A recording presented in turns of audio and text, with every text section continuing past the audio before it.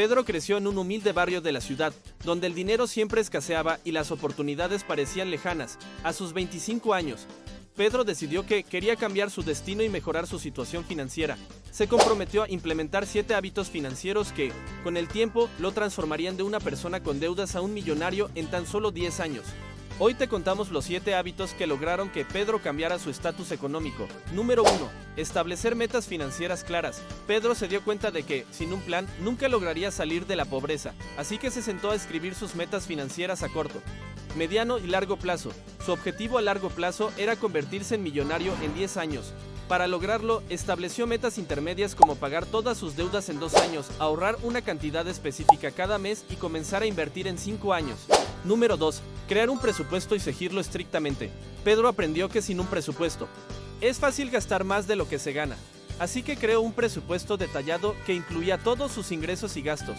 Se comprometió a vivir por debajo de sus posibilidades, reduciendo gastos innecesarios y destinando una parte de sus ingresos al ahorro y la inversión. Número 3. Eliminar deudas. Uno de los primeros pasos de Pedro fue eliminar sus deudas. Hizo una lista de todas sus deudas y priorizó pagarlas según su tasa de interés. Comenzó pagando las deudas con mayores intereses mientras hacía pagos mínimos en las otras. Una vez pagada una deuda, destinaba ese dinero al siguiente préstamo hasta que finalmente quedó libre de deudas. Número 4.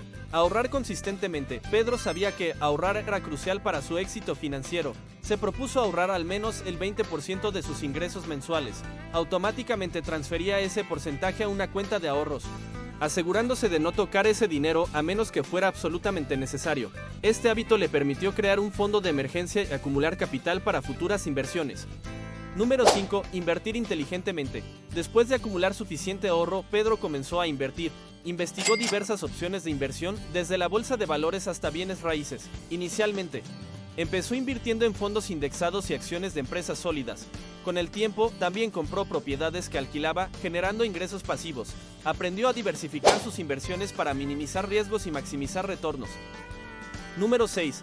Desarrollar múltiples fuentes de ingreso. Pedro entendió que depender de una sola fuente de ingreso lo hacía vulnerable, así que buscó formas de diversificar sus ingresos, además de su trabajo principal. Comenzó a ofrecer servicios freelance y a desarrollar un pequeño negocio en línea. Estas actividades adicionales no solo aumentaron sus ingresos, sino que también le proporcionaron seguridad financiera. Número 7. Educación financiera continua. Pedro nunca dejó de aprender sobre finanzas. Leyó libros, Asistió a seminarios y siguió blogs y podcasts de expertos en el área. Esta educación continua le permitió tomar decisiones financieras informadas y adaptarse a los cambios en el mercado. También se rodeó de mentores y personas exitosas de las cuales aprendió valiosas lecciones.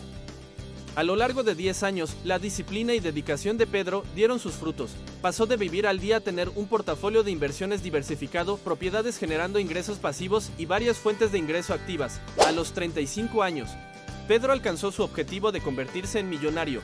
Su historia es un testimonio de cómo la implementación de hábitos financieros sólidos puede transformar la vida de cualquier persona sin importar su punto de partida.